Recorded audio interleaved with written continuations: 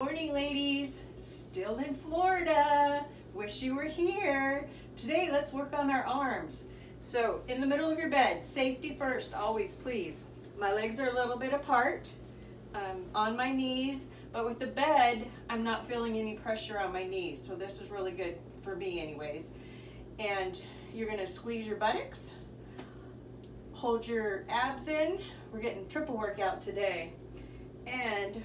We're gonna put our arms back behind us, palms up, as we're holding in our abs for a good strong core.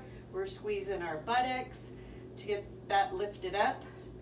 And we're just gently, gently moving our arms up and down to get those back arms ready to go. So I hope you have a great day and week. Don't forget to hit the link so you can subscribe, hit the bell so you'll get my daily videos, and please share. Let's spread Pajama Granny all over the world so we can get fit and fueled together. Bye, ladies.